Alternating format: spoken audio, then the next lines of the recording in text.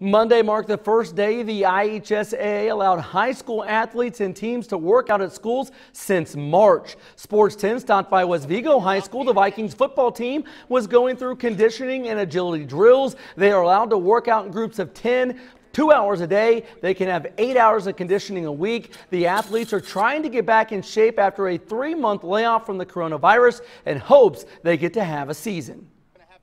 Yeah, we just want to be able to go out there and play our last season football, we always talk about adversity, you know, and adversity happens on the in the game all the time.